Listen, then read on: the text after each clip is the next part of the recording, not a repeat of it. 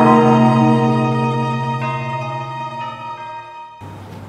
师傅，我想问问，就是我有一次在那个中央大街一块儿就是说，嗯，中央大街那个和山口街那块儿卡倒，卡倒就拽过去，拽什么？呃，拽过去了之后呢，拽一下，拽下去啊、就东北人讲拽下去。摔倒了之后，我就就体悟到跟前那些人就说话，就这个就完了。这个就赶紧打幺二零。完了，后来那时候再打幺二零，打幺幺零。嗯他们说话的过程当中，我就听着人说话，但看不到人。嗯那个好像那时候不是用眼睛看看周围这些境界的。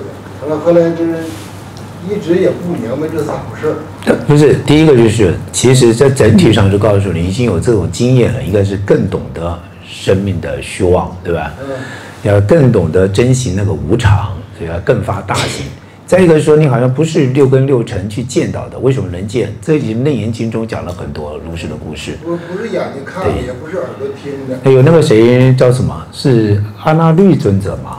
眼睛是瞎的，是吧？眼睛瞎的。对，读佛经嘛，不是，我就看着这个无我相、无言相。那那个不是无我相，那个是告诉你，我们本来就有个灵知，虽然堕在业感上面，你还没办法达到无我了，但是这个灵觉都在也。看不到我自己啊，嗯，也没有我自己，也没有众生。那个灵知既然是不用六根，它不假六根六尘，那那个自己那个就是生根，对吧？就是生根，所以它不是原的生根之道，但是它是灵知。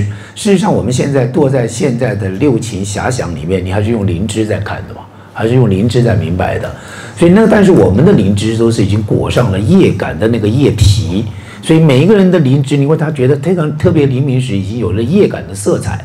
所以在业感色彩上，我们很难去体会那个灵知。再加上再加上六根的束缚，你就觉得只是眼睛能见而已，耳朵能听而已。事实上不是，有的时候我们不用耳根，突然你会觉得好像听得很遥远。你不是用真用鼻根，突然好像闻到很遥远的香。我为什么说不用鼻根？你要是真用鼻根，不可能闻那么远，对吧？突然可以圆到很远的香，就在《内经》上讲过这种类似的情形，那都不是根，那都是灵知而已。因为为什么你有灵知？因为觉性本来就在众生的业感中，觉性的黎明，它本来就常在，对吧？本来在常在，只是众生堕在众生的业力束缚上面，它就变成了灵知了，只是灵知了。灵就变什么？我们本来是黎明是觉性，可是你坐在灵中说灵就是灵知，懂吗？但是你还是那个灵知的，所以在哪里做佛事，对吧？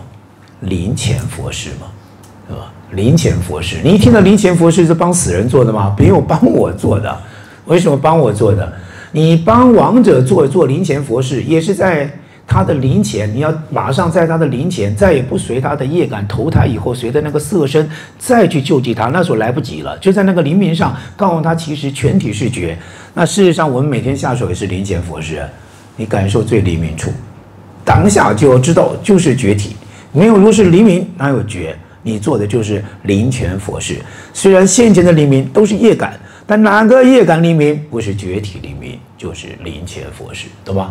我们现在要为自己常做灵前佛事啊，对吧？都是那念灵明的，对吧？那时候我就以为是心呢，我这心也没有形体，没有相。这这个其实后面所想的东西都变成杂，就变多余。我师傅刚刚已经讲说，你应该有两种启发。第一个是告诉你要知道有灵知，对吧？所以肉体是虚妄。第二个是摔下去居然还能够听到声音就活过来了，本来以为要死了，要赶快要体会无常，赶快出家。你呢还差还差几公分啊？几个几公分，那脸也差一点，对吧？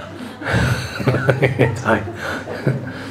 你怎么不把那个郑之美跟你一起剃，对吧？